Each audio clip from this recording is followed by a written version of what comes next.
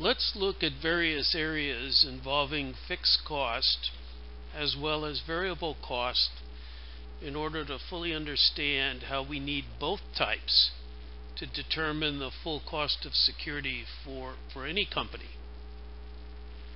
Fixed costs are simply the budget related items to security programs that are put in place to provide security and protection for your company.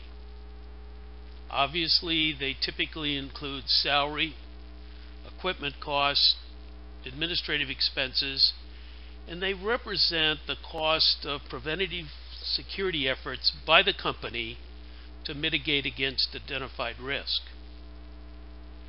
Variable costs are far ranging, from issues related to scale and size to issues as simple as the old axiom one offs.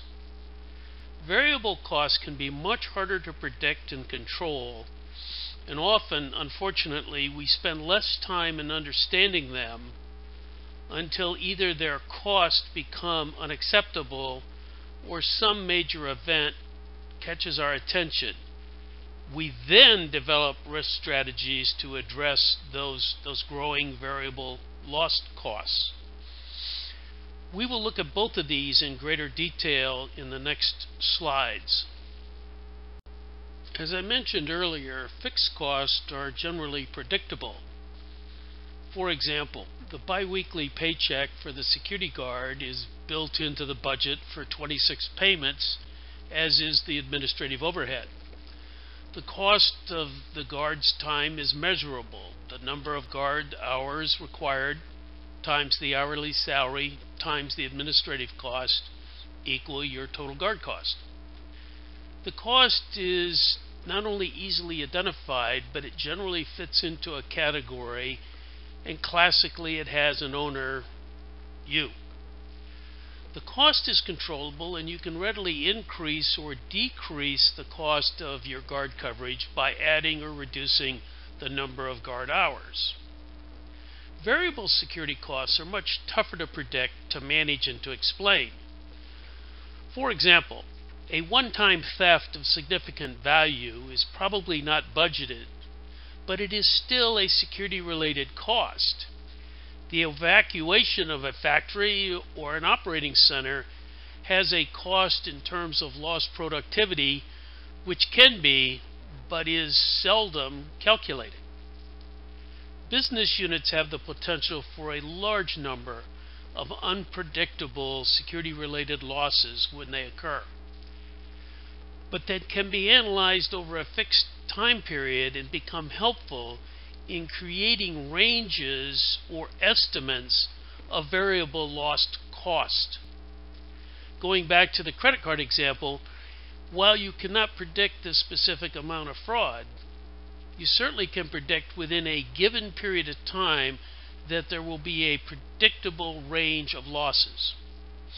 Root cause analysis becomes critical in working to control variable cost and in balancing a fixed cost security program that offsets the variable lost cost.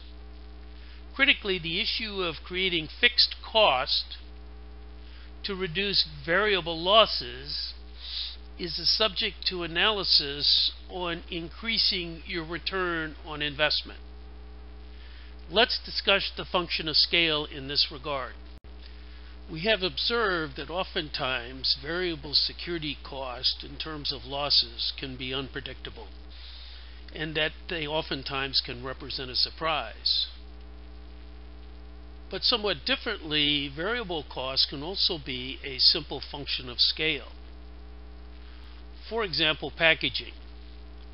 Let's say to protect your product and educate consumers to avoid purchasing counterfeit knockoffs, the company provides a state-of-the-art security seal. The cost of this seal is known per item. What is needed to determine the is the total number of units to be produced, which will then tell you the total variable cost. Simply the seal cost times the number of units equals the total security cost. In the same example, there are security costs related to shrinkage.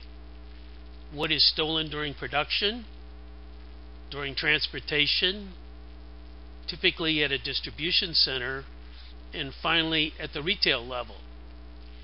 The key issue for the security director is in understanding the liability to your company or to other partner companies or finally to an insurance company.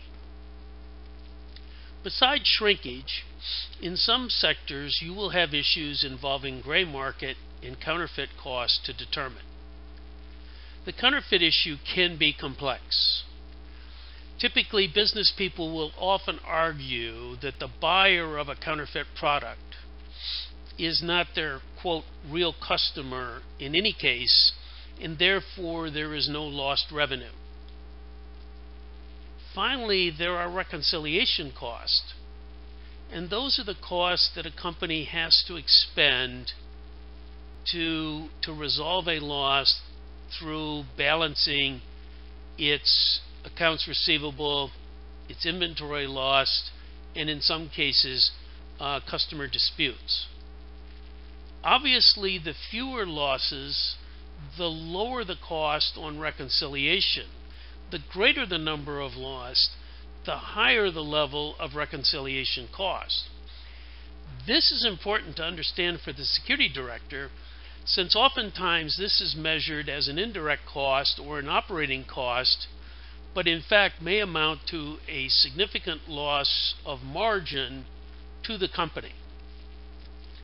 The bottom line for you, the security director, is that these variable costs can be difficult to identify in goal setting and in maintaining profit margins, but they nevertheless represent extraordinary value to the businesses if they're examined and articulated correctly.